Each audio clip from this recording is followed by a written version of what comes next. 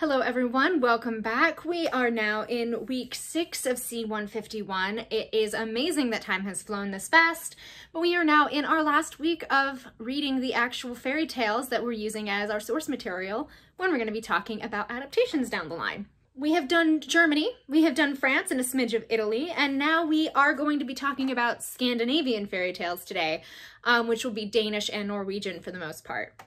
Now, uh, there is a PowerPoint to go alongside this, so I hope you have that pulled up while we are going through it together. So, after the title slide, we're going to begin talking about the Danish Golden Age of Arts and Letters. This was the period of time that resulted in the production of a lot of famous Danish fairy tales. This actually begins at the end of the 18th century. So if you're thinking about timeline-wise, what we've discussed so far, uh, this is happening the, this uh, end of the 18th century here is right after the French Vogue ended and right before the Grimms really got going. So the end of the 18th century um, is when Enlightenment ideas came to Denmark via Germany, leading to a brief wave of progressivism. Now, there's a whole saga about um, how these Enlightenment ideas came from Germany to Denmark, and there is actually a fictional film about it that is based on the historical events called A Royal Affair, and it has Mads Mikkelsen and Alicia Vikander in it. I actually watched it for a course a few years ago. Highly recommend it after all of the drama that happened at that point in time, the Enlightenment ideas that had led to a brief wave of progressivism in Denmark were reversed by those who um, were better off or felt that they were better off with more conservative economic and social principles. Um, this led to a conservative government and Denmark became embroiled in multiple conflicts involving France and Britain. In the wake of much destruction, opportunities arose for architects, artists, and writers inspired by German Romanticism to launch a golden age of creativity in Denmark. Hans Christian Andersen was one of these people. He lived and worked during much of this golden age, uh, which lasted until about 1850. On the next slide, I have a portrait of him. Uh, Hans Christian Andersen was born in Odense, Denmark in 1805. He grew up very poor and left for Copenhagen, the capital of Denmark, at the age of 14. He had a very troubled career. He failed to become an actor.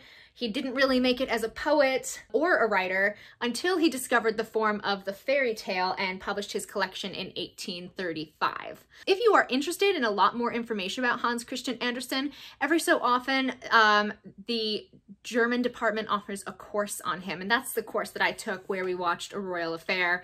It was great. I highly recommend it. So um, keep an eye out for that if you are interested in, any point in something like that. Though Andersen's collection was inspired by folk tales, most of his stories are of his own creation. So you will see some if you are to read a lot of his fairy tales just out of shot here. Um, you will recognize some forms, like the Wild Swans um, has similarities to Grimm stories. There's a couple of others. Um, but for the most part, he invented them on his own. Uh, he never married, though he had unrequited romances with both men and women.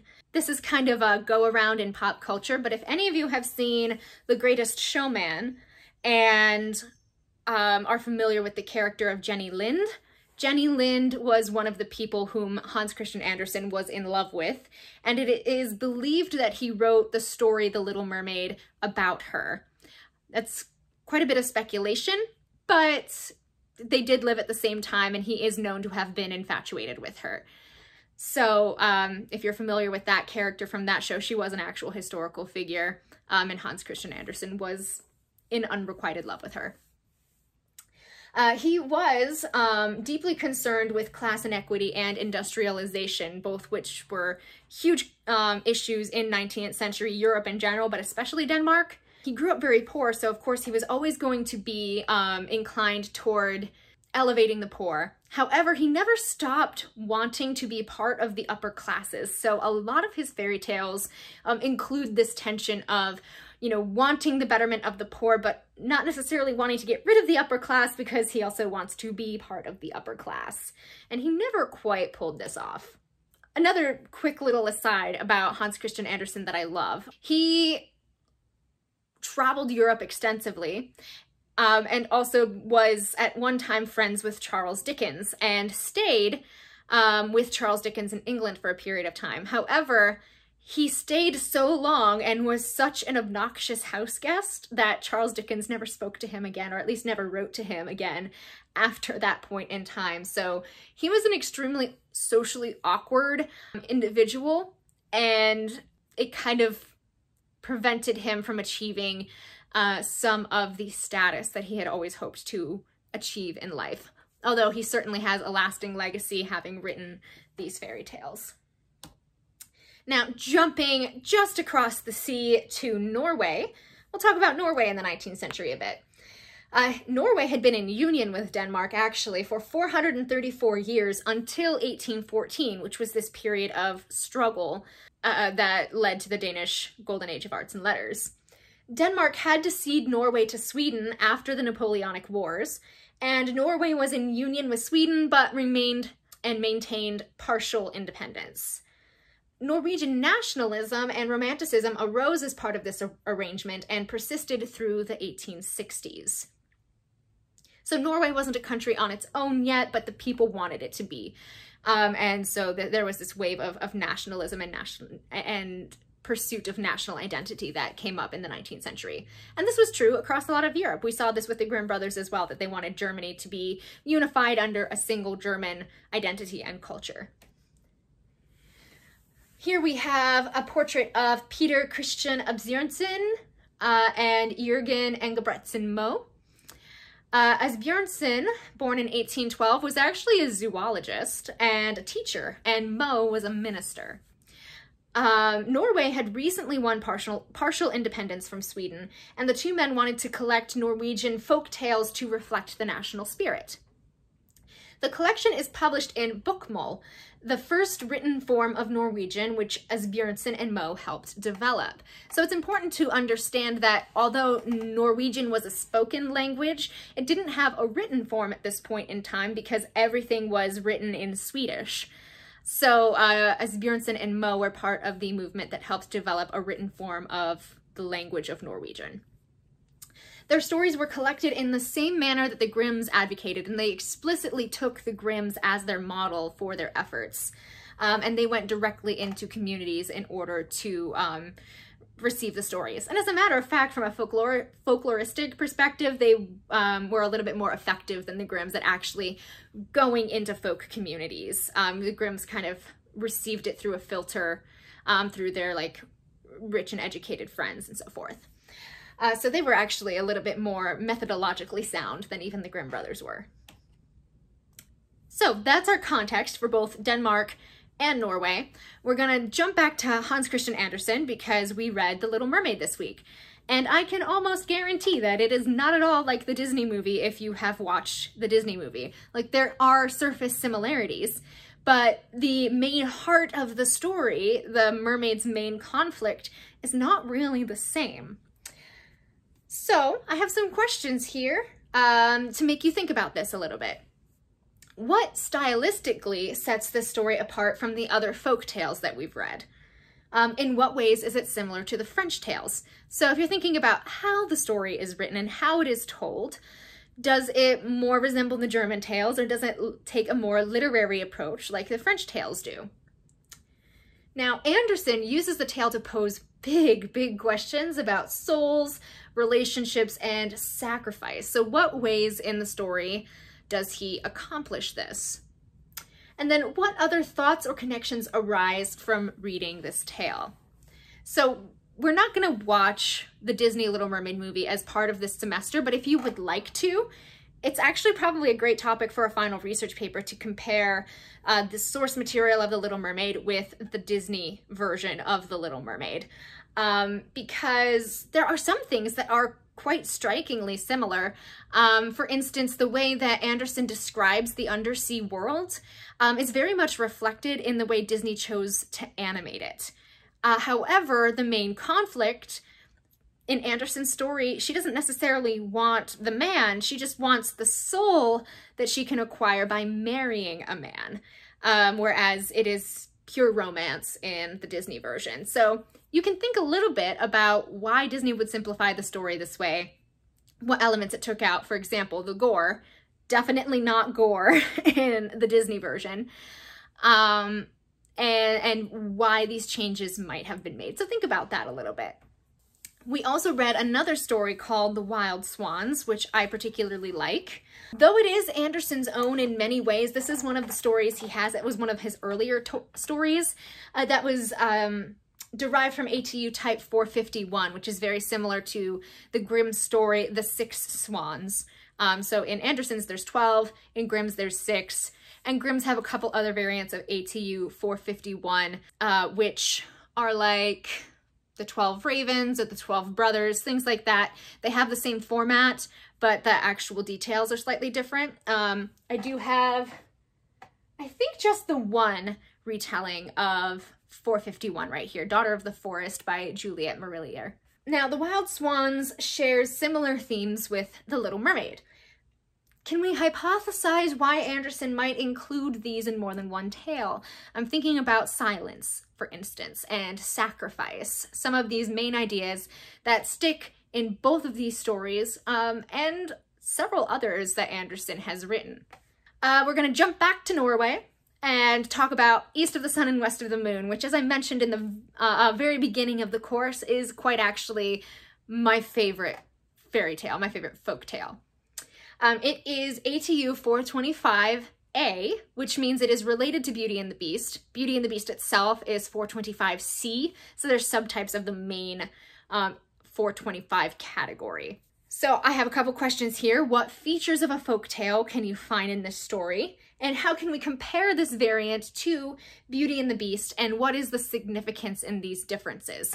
And while we're here, I figure I'll pull out my illustrated version again, which is right here. And as a matter of fact, everything from the end of the bookshelf to here, these are all Beauty and the Beast retellings or 425 retellings. And this is actually probably only about half of the Beauty and the Beast retellings I own because I'm writing my dissertation in part on Beauty and the Beast and also Cinderella. So several of them are in another room where I am working on that research project. But back to our illustrated version here. This is illustrated by Kay Nielsen, um, who is a highly acclaimed illustrator of fairy tales from the early 20th century. Uh, so I am going to pull up the illustrations and here's just, that's just the cover page there, the title page. And he has um, several fairy tales in here. So this is one of the more famous illustrations of the girl on the polar bear's back. A beautiful image of when the taboo is broken and the prince must go uh, to the troll kingdom an image of her crying after she has been traveling for a long time and still can't get east of the sun and west of the moon. This is an illustration of the north wind. As you can see, he's a very powerful figure, um, you know, moving the sea waves around. And here is the illustration of the two characters leaving east of the sun and west of the moon and heading home for their happily ever after.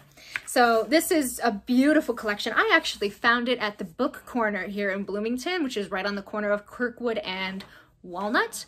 So um, if you're interested in wandering through there, they actually have a pretty decent um, folk tale and folklore collection there. So again, East of the Sun and West of the Moon, one of my favorite fairy tales because of how um, the heroine goes on this great adventure in order to um, find her true love. So there's a lot more agency on the part of the young woman in this story than there is in something like Beauty and the Beast or many of the other fairy tales that we've read. The other Norwegian fairy tale I had you read was The Pancake, which you might recognize as The Gingerbread Man. The pancake is an example of what is called a chain tale. It is a particular genre of oral narrative um, that builds upon itself with repetition and wordplay. So you might recognize something like a chain tale from There Once Was a Lady Who, followed, who Swallowed a Fly. In order to um, to catch the fly, she swallowed a mouse. To catch the mouse, she swallowed a cat. To catch the cat, she swallowed a dog, and so forth. That is an, another example of a chain tale that you might be familiar with. Um, it builds itself on repetition and wordplay. Now, we've had many examples of eating and food in the fairy tales that we've read. How do you think that this tale fits into all of that? So we've had examples of cannibalism already, um, examples of magical food, uh, things like that. Uh, so how might um, a story about a piece of food running away play into some of these ideas that we've seen so far about food and sustenance and starvation and other things like that. It's a fun story, but there's still subtext.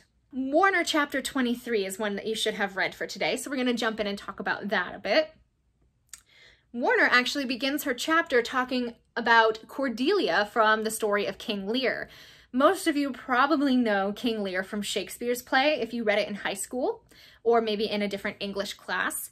Uh, King Lear uh, is not a Shakespearean invention. He pulled that from existing English legend and then expanded the characters and the, and the plot line. Uh, so Warner talks about this legend about Cordelia and King Lear and the relationships between father and daughter. What are some of the points she makes and how is it linked to the tales that we read for today, as well as the ones that we've read in the past, particularly Allerleirauh Warner makes connections between silence, sacrifice, and sexuality, which we're finding to be extremely relevant to the stories we read today, particularly Andersen.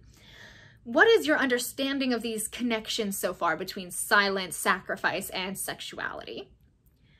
And what are some of the troubling implications of Warner's analysis of the tales that we've read for today? Like, she's kind of laying bare some elements of the story that might make us really uncomfortable and challenges the way that we understand stories and storytelling, particularly these stories that have been familiar to us possibly for a very long time. So think about what the consequences are of these analyses. And not necessarily negative ones. They're i think they're neutral all things considered but they do make us think in rather challenging ways that is the end of our discussion on Norwegian and Scandinavian fairy tales. I hope you enjoyed these ones. I particularly like um, Andersen and the Norwegian fairy tales. So uh, stay tuned. We are also going to be talking about Russian fairy tales this week, so watch that lecture as well. Don't forget your discussion post and your, uh, sorry, your knowledge check as well. Um, and keep up with your reading. If you have any questions, as always, feel free to email me and I will see you in the next lecture.